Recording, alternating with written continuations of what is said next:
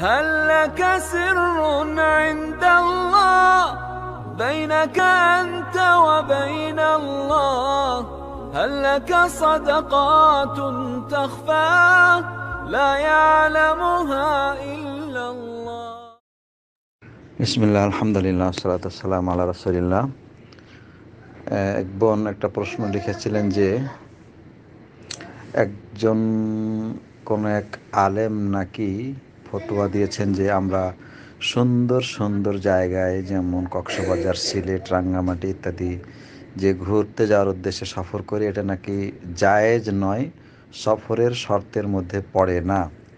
আসলে এ ব্যাপারে ইসলাম কি বলে? ওলামাদের মধ্যে একদল বলেছেন যে আসলেই এরকম সফর জায়েজ নাই। এই জন্যে যে এই সফরগুলোতে ইসলামিক দিক থেকে, ইসলামের দিক থেকে কোনো কল্যাণ বয়ে আনে না। এটা এক এবং এটা কোনো ইবাদতের নয়, বরং এখানে অর্থ অপচয় হয় এবং মানে সময়ের অপচয় হয়। সময় অপচয় অর্থ অপচয় যেটা আল্লাহ তালা অপছন্দ করেন। এটা হলো এক। দ্বিতীয়ত, এই সমস্ত জায়গা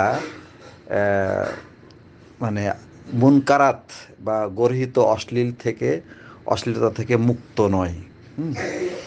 তো ওই সমস্ত জায়গায় গিয়ে যেহেতু বেপর্দা নারী, তারপরে মিউজিক গান এগুলি শুনতে শুনতে হয় তারপরে খেলাধুলা বিভিন্ন রকমের তো এই যে বিষয়গুলো এগুলি হয়, এগুলি যারা দেখে তারা কিন্তু নীরবে সহ্য করতে হয়। সে নাহি অ্যান্ড মুনকার যে একটা হাদিসে আছে যে মানে আমরবিল মারুফ, নাহি অ্যান্ড মুনকার, সৎ কাজে আদেশ, অসৎ কাজে নিষেধ, এটা করতে পারে না এবং করার সুযোগও হয় না। তো এখন বোঝা গেল যে আমি পয়সা খরচ করে আমি এমন জায়গাতে গেলাম যেখানে অশ্লীলতা হচ্ছে, বেপর্দার নারীরা ঘোরাফিরা, ঘোরাফেরা করছে, তাদেরকে আমি দেখছি।